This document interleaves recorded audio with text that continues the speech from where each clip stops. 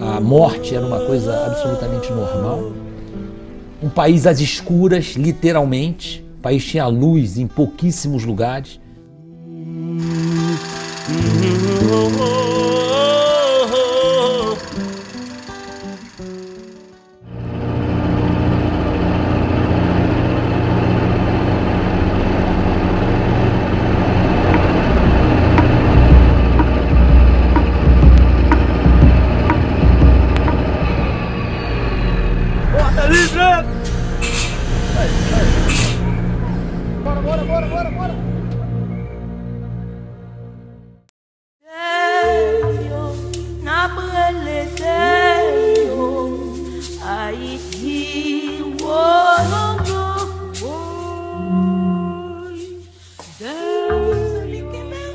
Havia confrontos diários, troca de tiro dentro de Porto Príncipe.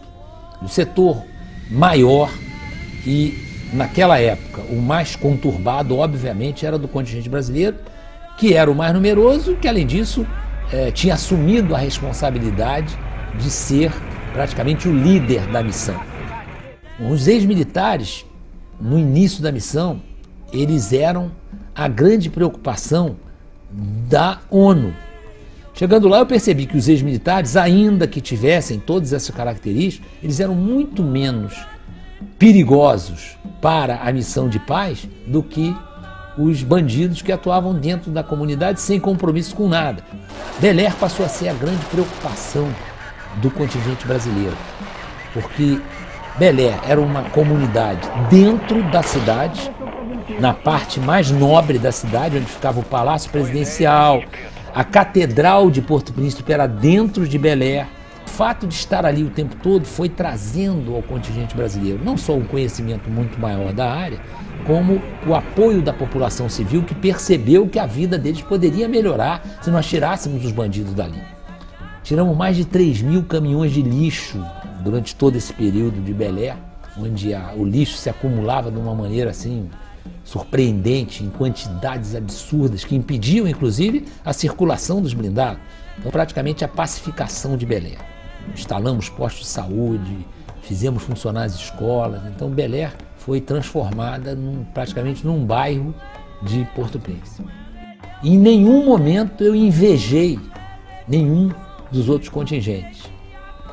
Alguns estavam à altura do contingente brasileiro, mas nenhum nos superava em obstinação, em coragem, em determinação.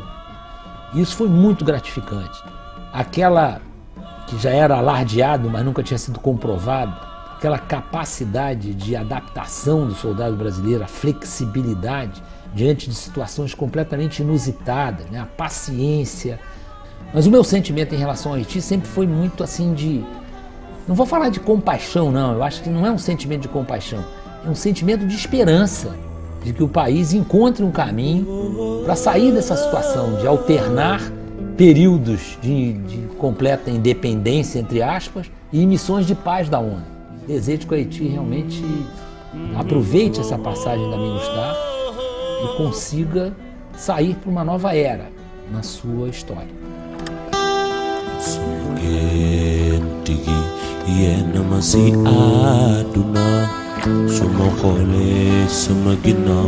sama